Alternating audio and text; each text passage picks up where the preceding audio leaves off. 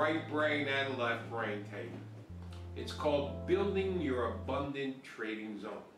What I actually imagine is there's a vortex around me, a vortex moving of energy. The market is energy, the market is alive, all traders are energy, traders are alive. I have my vortex around me. And in this vortex, I only permit what is good for me. I permit positive affirmations that I put in my mind. I sculpture and paint my day. I'm looking at affirmations on Jack Canfield's vision board.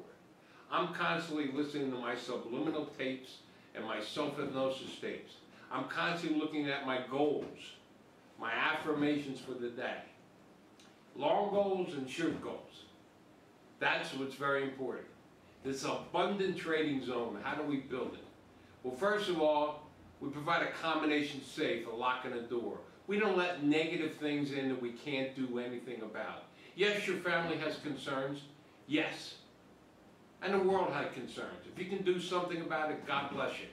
Send money to the hunger relief. Send money to help people, Red Cross, whatever. But if you can't do anything about it, empathize, but let the negativity go.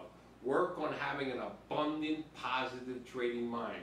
That's what my book talks about in the first chapter, in the introduction, Pennies to a Thousand, building that abundant trading mind. Superconsciously, subconsciously, and consciously. Okay, everyone, you've been listening to Trading Happy Buddha. This is Dr. Mike Klusinski. Have a fantastic trading week, a good up equity curve, and have fun trading. Joy is the key. Bye.